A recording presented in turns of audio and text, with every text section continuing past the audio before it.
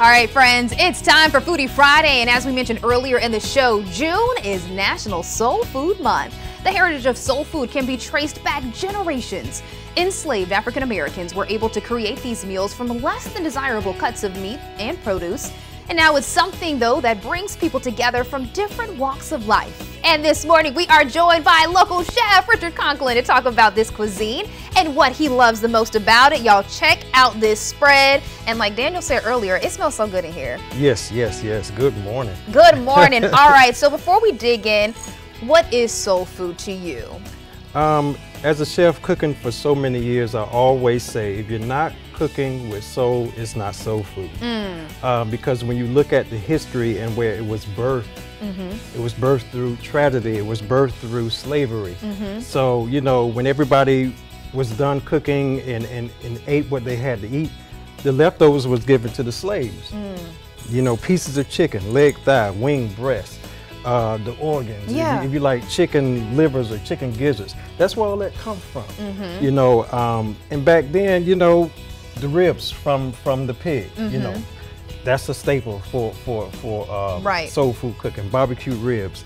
Um, and you know, back then they didn't have Lawry season salt. Mm. So they have the Lawry's you now. know, so they would mm-hmm. have to go in the fields and they would have to pick fresh vegetables, collard greens, yams out, and come back and come together and, and, and, cook a nice soul food meal. Yeah, and what I love is that uh, something that was born out of tragedy has turned into something that is, uh, Absolutely. we've reclaimed that narrative and turned it into I take it very a, seriously right? when I cook.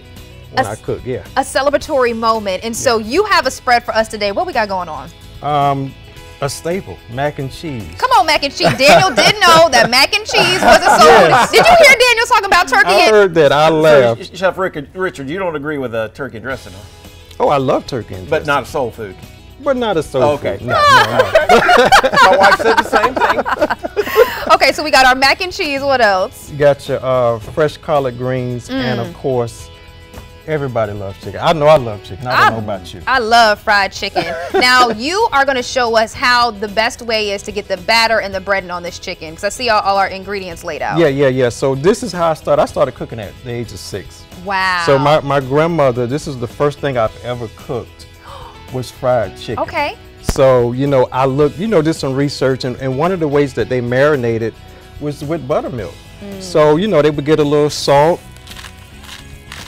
a little cracked black pepper, a little fresh garlic, mm -hmm. you know, the basic seasonings that, you know, you would use.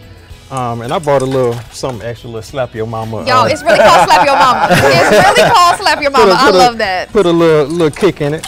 And mm. they would just, mm. you know, take this and they would marinate this. Yeah. You know, you can do it overnight. I, I like to do it overnight. I was about to say, what's the best way for it to yeah, absorb the overnight. flavor? Is it overnight? Yeah, overnight. Let it soak, let it marinate. And I've already dredged, and you know, when you get ready to cook it, you dredge it in a little flour. Mm-hmm.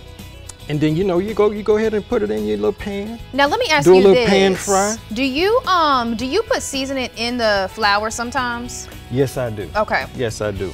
A little salt, pepper, mm -hmm. paprika, garlic powder, onion powder. Look, you know the basics. Yes, sir. Okay, yes. and then we got to ask you this. This is such a controversial topic nowadays. You wash your chicken? I do. I do.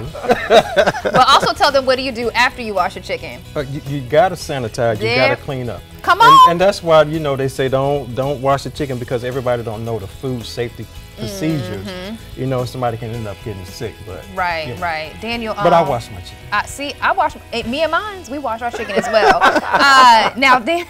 Daniel, you gonna flip the chicken eventually? I, am standing back and letting the expert do it. he already told me not to put my hand on the stove. Yeah, yeah, don't bury yourself. Right, right, right. So, you know, the most favorite part of it is is once everything, you know, and and when it comes to the fried chicken, you know, my grandmother every weekend would cook literally mm. for the community. Wow. So, you know, soul food to me is like, it, it's, it's love, it's the connection, mm. you know, that brings everybody together. And that's that's how I grew up. Yeah. So my favorite part was let's eat time. Come on, let's eat.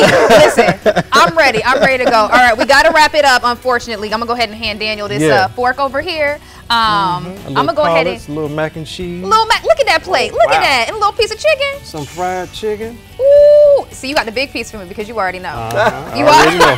he already know. I like to eat, y'all. What's your favorite part of the chicken? Um, a wing. A wing, see? There Yes, you go. sir. All right, so I'm gonna get, I'm gonna dig in. All right, uh, Chef Richard, real quick, so we got to toss the break. Where can folks get in contact with you? Uh, reach out to me on my Facebook page, Chef Richard Conklin, or my new Instagram page, You know it's good if we're This right report. This is Chef Richard. Chef underscore Rich SC. All right, perfect. Thank you so much, Chef Richard. Daniel, I'm gonna let you toss the break. I'm gonna keep eating. All right, more news tonight. Hey, tell us your favorite soul food dish too. 776-9508. We'll have much more news and weather coming up right after this short break.